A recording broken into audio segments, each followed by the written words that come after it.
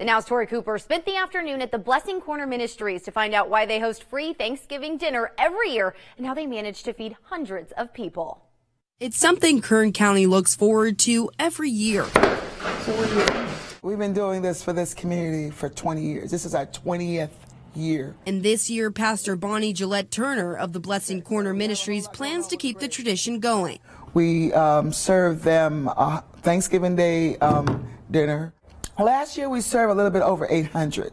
Yeah, including the seniors that we distributed to. And for the last two weeks, this is a little over four cups, maybe even five since it's running over. Pastor Bonnie and her team of volunteers have been accepting food donations from the community to feed the mouths of Kern County, prepping nearly 40 hams, 40 turkeys, and more than 300 pounds of yams for Thursday's dinner. And Pastor Bonnie says she chooses to spend Thanksgiving this way because she knows many people in her community need her to. Because we've been doing it for so long, families expect us to be there for them. I don't want to seem like we're in, encouraging these people but, you know, if the family is in need, you know, we want to be there for them. But there are still a few things the Blessing Corner needs to make the community Thanksgiving dinner happen. You know, we're only planning for about 800 people, so, yeah. We could still use probably another 15, 15 turkeys. Bonnie also says she could use some disposable aprons and gloves for her volunteers to serve the community. But she's not just taking care of Kern County's appetite. The Blessing Corner volunteers are also still gathering up donations from the community to help make life a little easier on those in need during the holidays and winter months. All types of warm clothing, you know, socks preferably new, but socks and, you know, hygiene items for the for this community, sleeping bags, warm blankets, you know, jackets. It doesn't have to be new, you know, gently used, you know, without any holes would be best. That was the Now's Tori Cooper reporting. The Blessing Corner also holds free Christmas dinner for the community each year, and it's still on schedule to take place this December. Volunteers are still accepting turkeys until Thanksgiving Day. For a look at Bonnie's recipe on old-fashioned gravy and candied yams, plus more on how to make a monetary donation to the organization, just head to our website, turnto23.com. And you can find other events happening on Thanksgiving available now on our website, turnto23.com. There you can find information about the Bakersfield Turkey Day run at Riverwalk Park and the free Thanksgiving meals being served by the mission at Kern County. Plus, if you plan on frying your bird, you can find helpful information on how to fry safely and not create a fire hazard. All that and more available right now on our website, turnto23.com. Keeping the roads safe isn't the only goal of the Highway Patrol. They also focus on giving back. And this year, for the ninth annual CHiPs for Kids toy drive, you can be a part of it. The drive kicks off today and will go until December 17th. CHiPs for Kids is an event that impacts thousands of kids here in Kern County, providing Christmas presents that can make a difference for them this holiday season. Organizers are taking new unwrapped toys for kids of all ages, from infants to toddlers, kids, and teens. 23 ABC's Mike Hart sat down with CHP officer Robert Rodriguez today, who says the drive is for kids up to age 16. He mentioned most people tend to buy for younger children, but people should also remember older kids take part as well, and that not all donations need to be toys. Probably your, your, your younger kids. Mm-hmm. Uh, the ones that unfortunately suffer the most are the older kids because our toy drive does go to age 16. Um, and so a lot of people will ask, you know, what do I bring that child that's, you know, 16 or 15 years old? And sometimes, you know, we've had those kids ask for a blanket, ask for socks. You know, I mean, it's pretty sad, but but but that's what they ask for. I mean, yes, yeah. you do get those. Hey, do you have any PlayStations or Xboxes? Of course, we don't have any of that, but If you'd like to be a part of making Christmas more magical for local kids, there's a number of drop-off locations here in town. We want to show you a list right now on your screen. You can take the new toys to all local Walgreens stores, Motor City and the Auto Mall, the CHP headquarters, the United Way, and even right here at 23 ABC News. For more information, just head to our website, turnto23.com. Annie? Ugh, the dreaded flu season is upon us, so I've got to ask you, is your doctor recommending that you get the flu shot? What about your children's pediatrician? Do they recommend them getting the flu shot? A new poll found that many parents have no plans to get their kids the flu shot this year. I looked into why this could be. Last year, there were over 100 deaths from the flu in young children. Even still, this flu season, one third of parents plan to skip the flu shot for their kids. But Dr. Judith Shlay with Denver Public Health says that's extremely dangerous. They can be hospitalized and can die from it, as we saw last year. And we assume that this year will be just as bad as last year. A new report from CS Mott Children's Hospital found nearly half of parents usually follow their pediatrician's advice, but 21% say they don't remember if their doctor recommended their child to get a flu shot. Many adults don't remember flu shots being recommended by doctors when they were growing up, but Dr. Shlay says that's because before the year 2000, they weren't. Before that time period, we were asking only high risk adults, elderly, pregnant women, well, at risk children to get vaccinated. Nowadays, parents say they have their own reasons as to why they don't get their kids flu shots. Side effects, the belief the shot doesn't work, their child is healthy and doesn't need to be vaccinated. You might still get flu, but by taking the vaccine, you'll reduce the comorbidities and the disease uh, burden from taking it. It'll be a milder infection. Dr. Shlay says don't wait to get the shot. Flu activity starts high in December and January, so the best time is now to get it. And next in our lineup, a record number of people are flying for Thanksgiving. The TSA showing us how they're going to keep those security lines moving. You're watching the Now.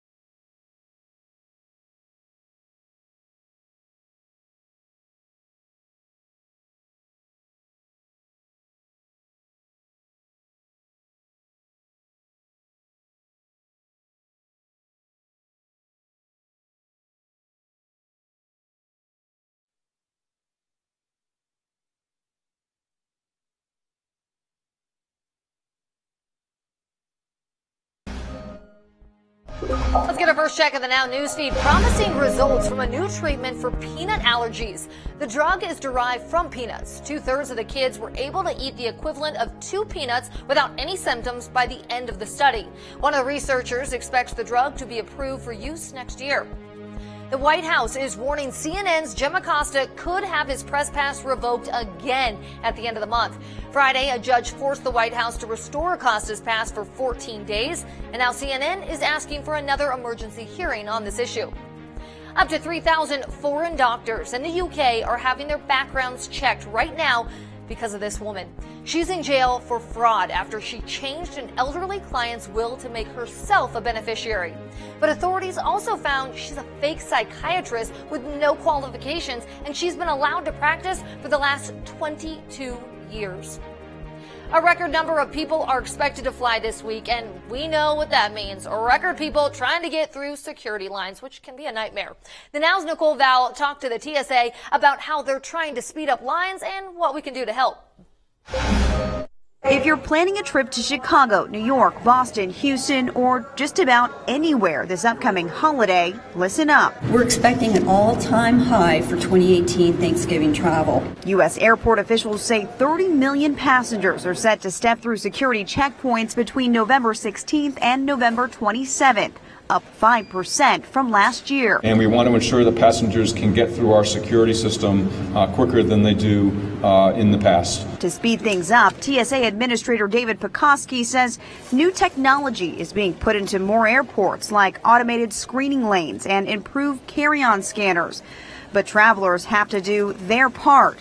The biggest checkpoint holdups packing prohibited carry-on items, and forgetting things in your pockets. My advice for pre-check passengers would be um, to just please be patient. Even pre-check passengers will be gambling with longer lines this holiday. I've been in times when I thought I want to get in the other line. Travelers like Dan Stagg are already seeing them. We recognize that uh, for a lot of passengers, they're seeing those lines are longer than what they expect. But some good news. Pekoske says pre-check changes are also on the way. You'll just have to wait to see them till after the holidays. We are going to put some new procedures in place uh, beginning after the first of the year, it's either adding more pre-check dedicated lines or changing some of our internal procedures uh, to accommodate that. For the now, I'm Nicole Vowell reporting.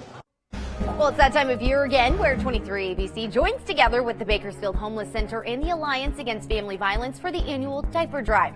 This is the third year the 23 ABC team has hosted the drive, which aims to collect 23,000 diapers for local families. Children can go through several diapers a day and hundreds every single month. It's a cost that not every family can comfortably afford. So to help make an impact this holiday season, we're accepting diapers at several locations throughout town from now until December 10th. If you'd like to donate, no amount is too big or too small. You can drop off diapers right here at the 23 ABC studios on 21st Street from 8 a.m. until 5 p.m. Donations are also being accepted at various Pharmacy Express locations throughout town. For more information about the diaper drive and its impact on the community, just head to our website, turnto23.com.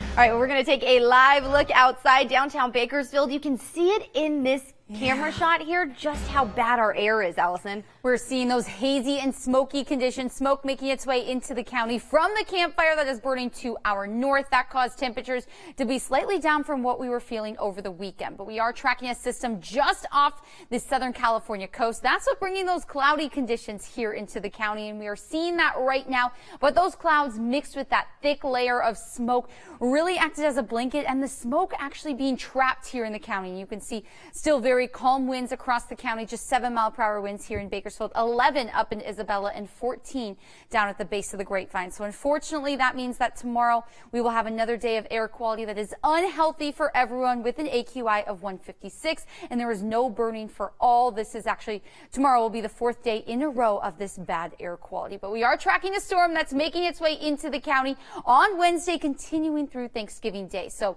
the best chance of rain is actually going to be in the evening and overnight hours on Wednesday. You can see that rain continuing till around 2 a.m. And as we head into the early morning hours, that's when that rain is going to start drying out. Still seeing cloudy conditions as well as strong winds, especially through the passes in Tehachapi, as well as down at the base of the grapevine. But just for how much rain we will be receiving here in the valley, well, we have been so dry, so anywhere from a trace up to a few hundredths of an inch.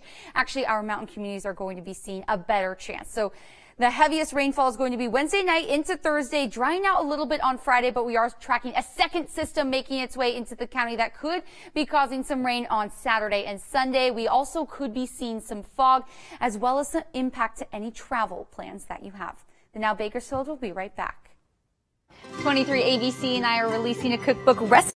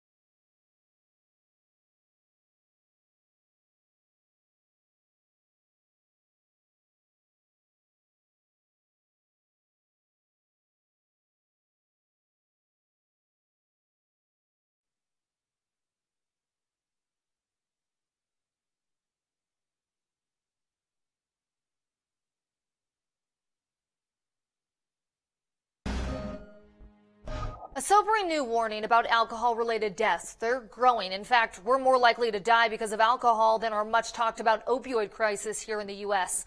Well, today, one family is opening up about their daughter's death, hoping it can save the lives of others. Here's the Now's Corey Rangel. She was just a servant to this disease. Ron and June Bird know the pain of watching a loved one struggle with alcohol. They helplessly watched their daughter Erica fight it for years. It would have to be in all caps, helpless. You know, as a father, I'm supposed to be able to fix things. I couldn't fix it. After becoming partner at her law firm, doctors diagnosed Erica with breast cancer. Her parents say Erica then became depressed, which made her drinking worse. Nothing worked. Not rehab, not even the family's many attempts to force her into treatment. Despite our best efforts, her friends' best efforts, her best efforts, it was to no avail. And it killed her. Erica died in 2011 at the age of 42. Her death is part of a disturbing growing trend. In the past 10 years, the number of deaths attributed to alcohol has gone up 35%. Among women, it has soared 85%. I just know it is a, a, a terrible epidemic. Uh, alcohol kills you in many ways.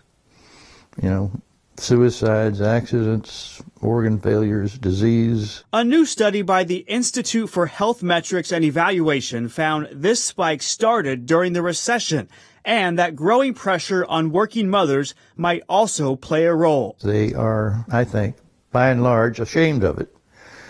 Our daughter was.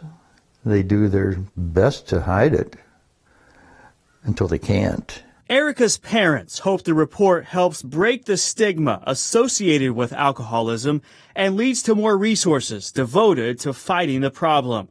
For the now, I'm Corey Rangel. Thank you, Corey.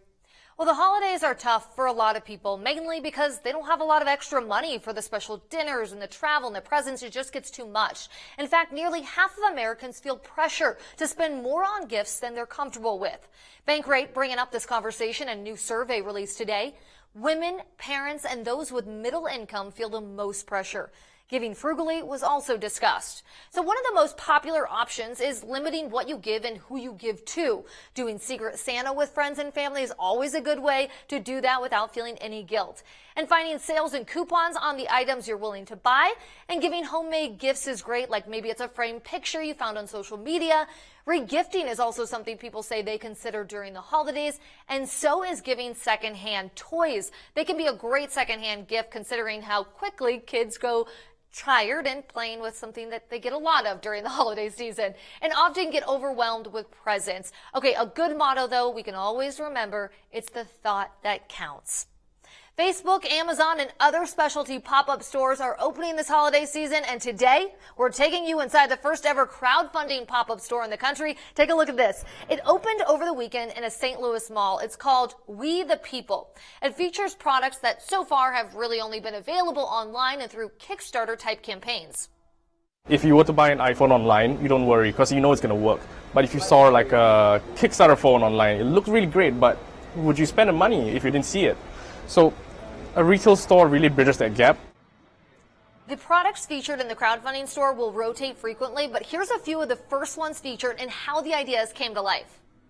Skelosaurs are leather fossil art kits, which I designed as a leather sculptor in order to make your own little prehistoric toys. It was suggested to me to do a Kickstarter.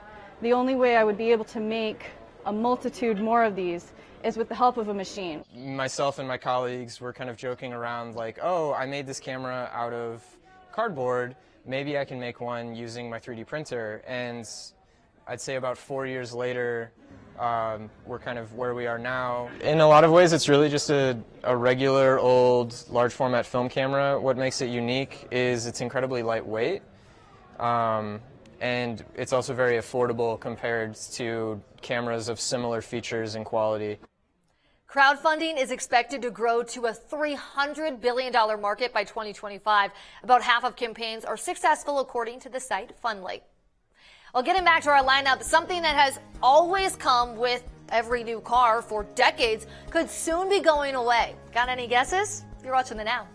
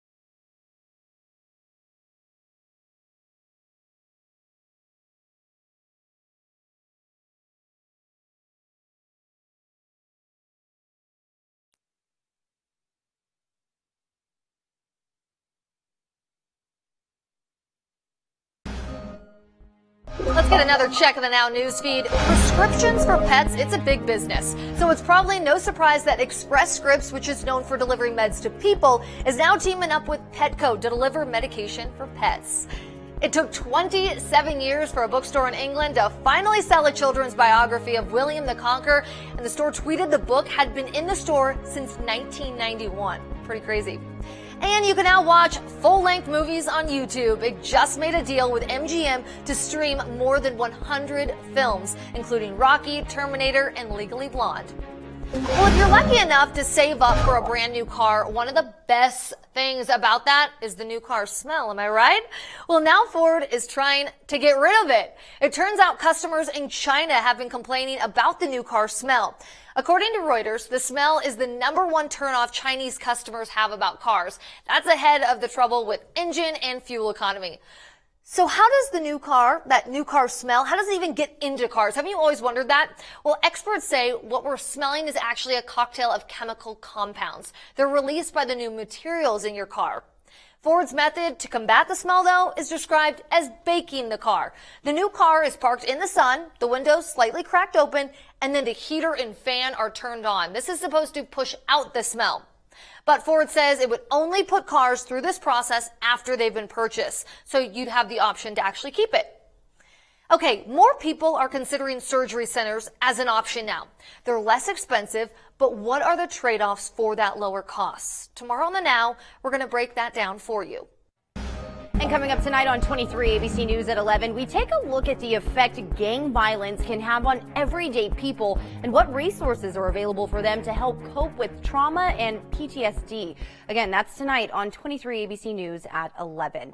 In the meantime, though, as we take a look at our air quality right now, it is just bad out there, Allison. We can see it just you outside. Yeah, you really can, especially at night when you can look at lights in the parking lot. It's like thick mm-hmm. layer that's hanging out across the valley. So the air quality warning that we've been tracking for more than a week now will be in effect till at least 10 a.m. tomorrow, and we will continue to track that. And tomorrow, actually, another day of air quality that is unhealthy for everyone. That will be the fourth day in a row. But unfortunately, we're not seeing strong enough winds to help clear out any of that smoke hanging out across the horizon. Just seven mile per hour winds here in Bakersfield right now, 16 at the base of the grapevine. So Again, unhealthy for everyone. Again, tomorrow, those hazy conditions with a high of 68 degrees. But then we are tracking a storm making its way into the county, bringing rain chances Wednesday night, continuing to the early morning hours on Thanksgiving. We would love that rain to mm-hmm. help the air here. Mm-hmm. And happy pre-Thanksgiving. Yeah. We'll see you back here tonight at 11.